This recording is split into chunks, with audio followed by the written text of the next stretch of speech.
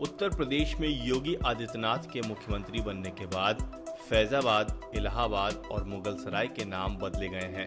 और इसी क्रम में अब भारतीय जनता पार्टी के नेताओं ने मिर्जापुर का नाम विंध्यवासिनी नगर या विंध्य धाम करने की मांग की है।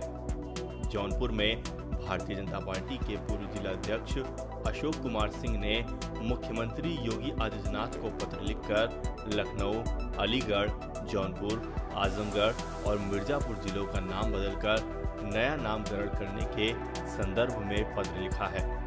सिंह ने मुख्यमंत्री योगी आदित्यनाथ को पत्र लिखकर कहा कि प्रदेश के कई जिलों का नाम बदलकर नया नामकरण कर अभूतपूर्व काम किया गया है। इससे भारतीय संस्कृति और राष्ट्रवाद गौरवान्वित हुआ है। उन्होंने कहा कि इस प्रकार का अप्रतिम और ऐतिहासिक निर्णय आप जैसे महान व्यक्ति के भूते की ही बात है।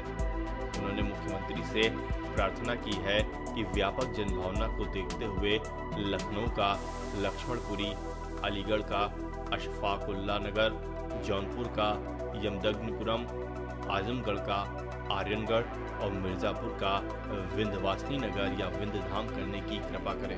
भाजपा नेता राज बहादुर सिंह ने भी पूर्व अध्यक्ष अशोक कुमार सिंह की इस मांग का समर्थन किया है।